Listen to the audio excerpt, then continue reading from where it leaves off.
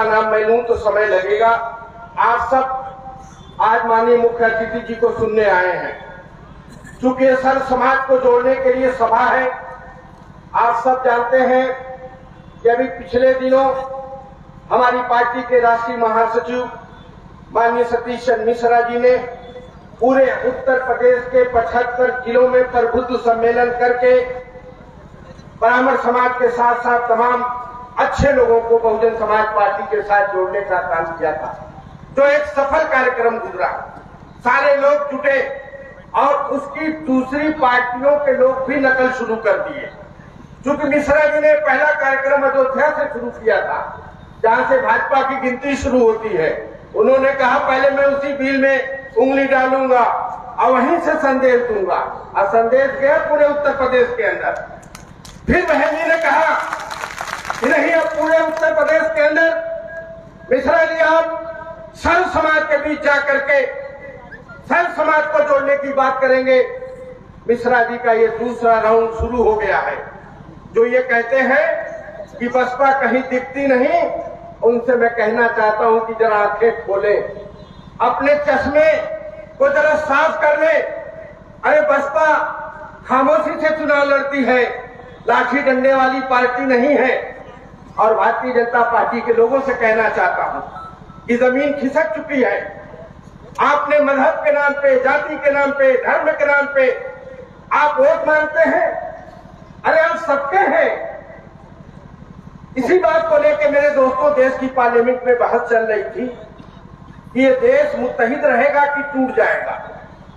इसलिए कि भारतीय जनता पार्टी के लोग जैसी नफरत इस मुल्क में फैला रहे हैं, भेदभाव कर रहे हैं आपस में एक दूसरे को लड़ाने की बात करते हैं, लगता है ये देश टूट जाएगा। इसी बात को लेकर देश की पंचायत में बहस हो रही थी। मिश्रा जी इस बात के गवाह हैं। दो मिनट का बहुजन समाज पार्टी को समय मिला। बहन जी भी उस वक्त हमारे साथ पार्लियामेंट में थी। मिश्रा जी के साथ भी छह साल में राज्यसभा में रहा हूँ। दो मिनट का पार्टी को मौका मिला। मान्या बहन जी ने कहा, अंसारी साहब, दो मिनट आप बोल दो। मुद्दा इतना बड़ा कि मुल्क मुतहिद रहेगा, अखंड रहेगा, कि टूट जाएगा। दो मिनट में कोई अपनी बात साथियों क्या रख सकता है? मैंने कहा, मेरे सामने मोदी जी भी बैठे थे। मैंने कहा, लाओ मोदी जी को मैं एक शेर सुना के अपनी जगह ले लू। और मैंने क्या शेर सुनाया? कि कब तक ये मजहबी नशा बांटिएगा, ये उन्माद वाली हवा बांटिएगा, ये मंदिर, ये मस्जिद शिवालों के झगड़े, अरे जब वो तनहीन होगा तो क्या बांटिएगा अरे मोदी जी जब ये मुल्क ही टूट जाएगा जिसको सबके खून पसीने मुहतईद होकर के इस देश में अंग्रेज़ों को भगाने का काम किया और आज सब समाज इस हिंदुस्तान में मिलजुल के रहता है। मेरे भाइयों, बड़ा दुखद विषय है। जब देखो हिंदुस्तान, पाकिस्तान, हिंदू, मुस्लिम क्या तमाशा है भाई। आप एजेंडों के क्यों नहीं मांगते? पाँच साल, चार बार बहन जी मुख्यमंत्री रही। इस प्रदेश में कोई समाज का आदमी उंगली नहीं उठा सकता।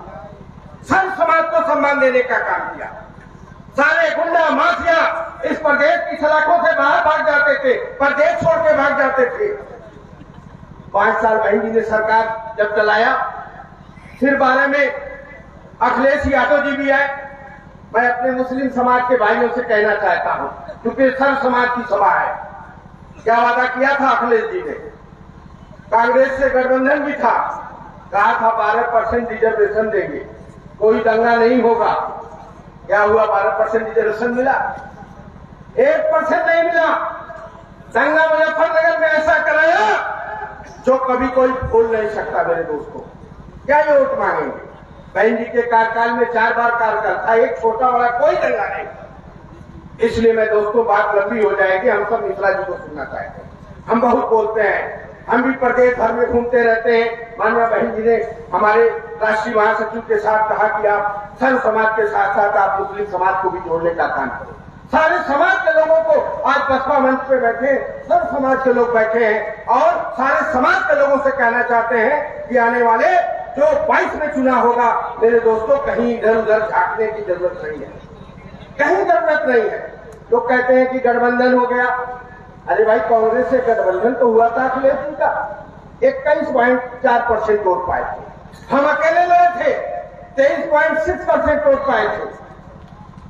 आज सर्व समाज कह रहा है जब सारे समाज के लोगों ने मन बनाया और सारे लोगों ने भारतीय जनता पार्टी को जब देखा, समाजवादी पार्टी को देखा तो अब तुलना तो आपको करना है कि पाँच साल बहन भी अच्छी थी, कि अखिलेश जी अच्छे थे, कि योगी जी थे। ठोक दूँगा, मार दूँगा, बुलडोजर चला दूँगा। अरे भाई, ये कौन सी सरकार चल रही है? जोड़ो में लोगों को, दिलों को जोड़ो समाज का विकास करो। ये बसपा की सोच है। इसलिए मैं दोस्तों, बात लंबी न करते हुए तमाम साथियों से अपील करना चाहता हूँ। सब समाज के साथ साथ, मुस्लिम समाज के साथियों से भी कहना चाहता हूँ कि आप लोग बाईस में अभी से लग जाइए। पांचवी बार उत्तर प्रदेश में बहन जी को मुख्यमंत्री बनाना है। और सतीश चंद्र मिश्रा साथ साथ रहेंगे। जब इन्होंने संघ बजाया है तो इनका समाज भी जगह है। और साथ में जिस तरह सरकार बनी थी बारह तक शानदारी से चली थी, मैं दावे के साथ कहना चाहता हूँ कि बाईस में सरकार बनाइए, किसी समाज को कोई उंगली उठाने का मौका नहीं दिया जाएगा। सर्व समाज का काम होगा। इन्हीं चंद अल्फाज के साथ अपनी बात खत्म करता हूँ। जय भीम, जय भारत, खुदा। डॉक्टर लाल बहादुर सिद्धार्थ जी को आमंत्रित करूँगा कि बस चंद शब्दों में माननीय मिश्रा जी का इस विधानसभा पे स्वागत करने की कृपा करें। डॉक्टर लाल बहादुर सिद्धार्थ जिंदाबाद जिंदाबाद बहादुर सिद्धार्थ जिंदाबाद जिंदाबाद दो मिनट का टाइम मिला। है कर सको तो अपनी बाड़ी में वो हुनर पैदा करो। बदलते रुख हवाओं का वो असर पैदा करो। अगर जीना चाहते हो उस दुनिया में मान सम्मान से तो घर घर में एक अंबेडकर पैदा करो।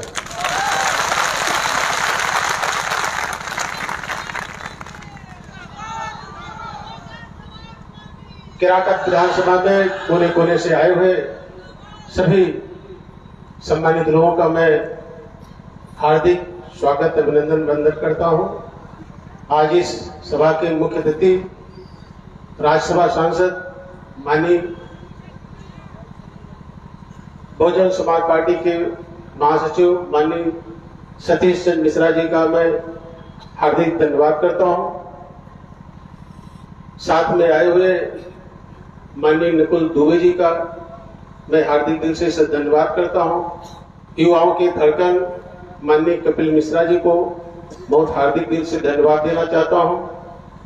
दोस्तों, समय बहुत कम है। हम अपना सारा समय माननीय मुख्य अतिथि जो के देना चाहता हूँ। एक बात कह के मैं अपनी बात समाप्त करता हूँ। दोस्तों, वक्त बहुत कम है। पूरा ज़ोर लगा दो। उसको मैं समझाता हूँ। उसको आप समझा दो। और देखिए कैसा भूचाल आएगा?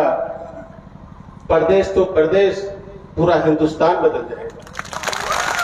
इन सब बातों के साथ मैं अपनी बात को विराम देते हुए सारा समय मैं अपने मुख्य अतिथि जी को देना चाहता हूँ। धन्यवाद। जय हिंद, जय भारत।